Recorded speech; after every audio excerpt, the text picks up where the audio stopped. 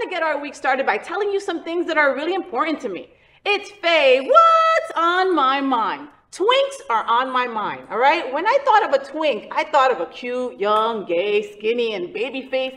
Chances are you've been called a twink, or at least yourself, you've called yourself a twink if you are any of those things, right? And I can't lie that the word doesn't completely slide off my lesbian lips. Twink.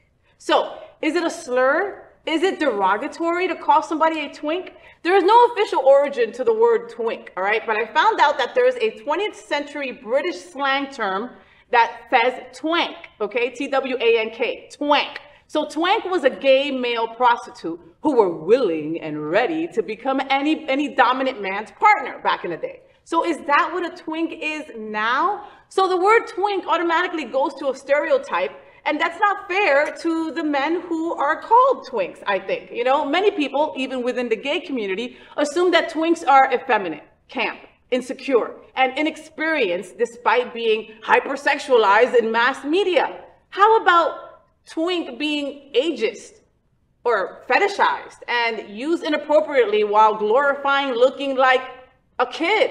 That's not cool if you think about it. Or am I overthinking and just trying to be all woke today? You know, maybe I just haven't had enough coffee today, you know? I don't know. I'll have to revisit that. So gay boys, let me know. If you're a twink and proud, let me know that you're a twink and proud.